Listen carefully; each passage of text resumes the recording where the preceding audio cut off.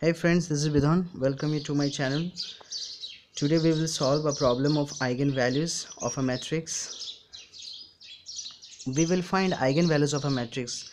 It's from June 2011 part B. It says find the eigenvalues of the given matrix this. The eigenvalues are what? You see that it's a square matrix of order 3 by 3. Square matrix means the number of rows 1, 2, 3 number of columns 1 2 3 are same. So the number of rows equal to the number of columns that means it's a square matrix. And it's a square matrix of order 3 by 3 so it will have three eigenvalues. And that's why each option is containing three eigenvalues. Now finding eigenvalues of a matrix we can do by two basic methods. We know two standard methods. One is by using characteristic equation.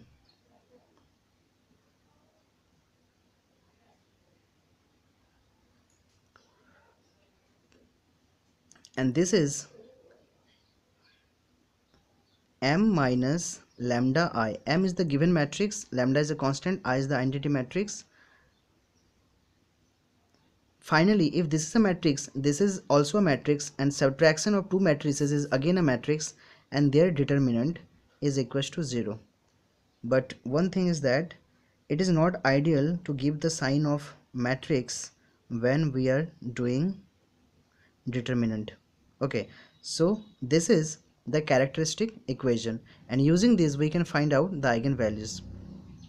And the second is the using characteristic polynomial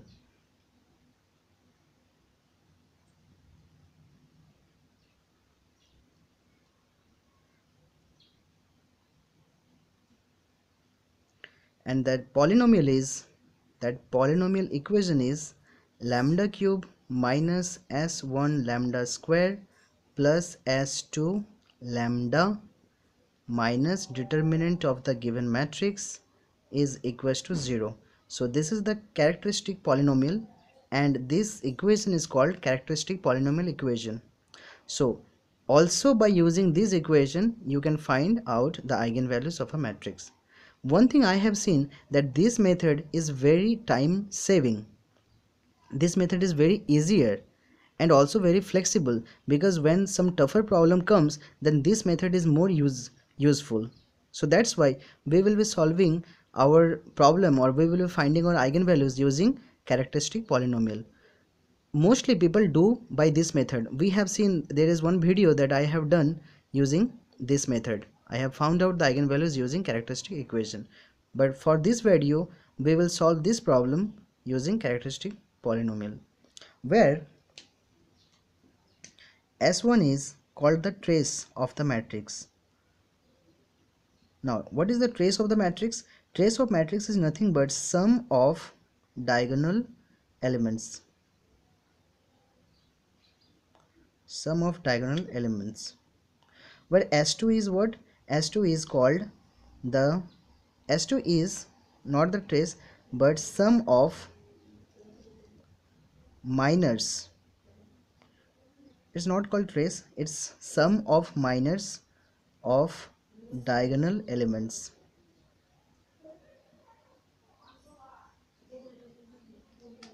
Now what are minors? For that a little view I'll put.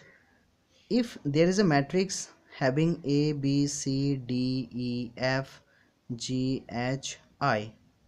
If one asks find the actually minor is found for any element. So if one says the find the minor of element A then minor of element A will be just you just omit this line and this line it's IE minus HF IE minus HF you don't need to even even put a here.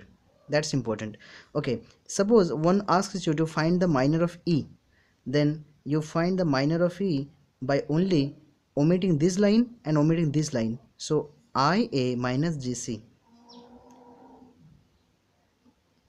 that's it. You don't have to even put you don't have to even put e here. And suppose i minor of i one says. Then what? It is omit this line and omit this line. AE minus DB AE minus dB.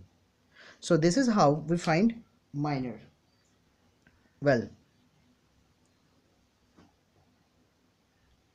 so from this problem we will find we have to find three things. The three ingredients are to be found out. S1 s2 and determinant of the matrix. So s1 is what s1 is simply the sum of diagonal elements. Here is our matrix. Diagonal element are 1 1 and 1 so 1 plus 1 plus 1 equal to 3 s1 equal to 3 now s2 sum of minors of diagonal elements. Now for this element the minor will be omitting this line omitting this line. 1 minus 1 1 into 1 minus 1 into 1 for this minor of this one will be omitting will omit this line and we will omit this line. So it will be 1 into 1 minus 1 into 1 like this. As we understood so it would be 1 into 1 minus 1 into 1 plus minor for the second one. For this 1 into 1 minus 1 into 1 plus for the third one this is the third diagonal element. So 1 into 1 minus 1 into 1 it is you see 0 okay and next is determinant of the matrix.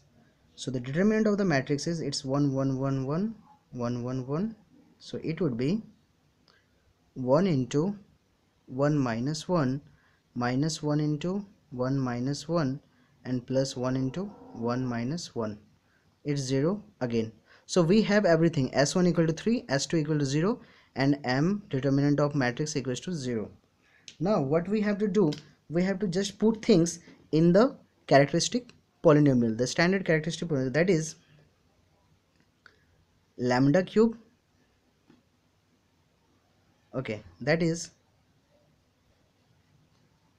lambda cube minus s1 is what? 3 3 lambda square plus s2 0 s2 lambda that means 0 minus determinant of m minus determinant of m is 0 and is equals to 0 okay.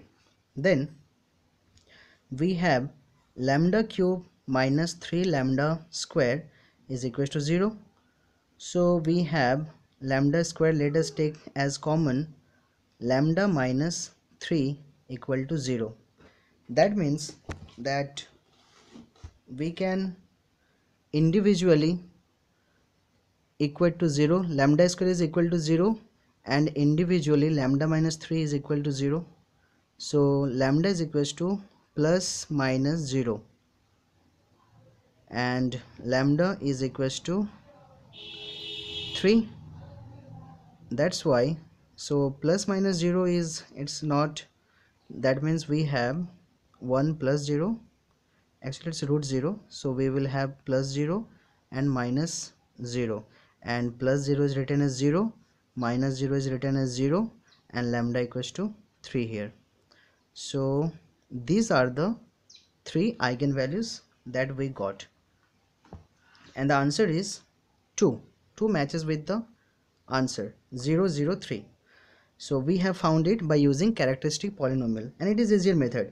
You can also solve this problem by using the characteristic equation and you will see that it is really a little hectic. It is a little cumbersome and uh, you don't find any convenience in finding eigenvalues using characteristic equation. Well otherwise you can do it. So for now our answer is option 2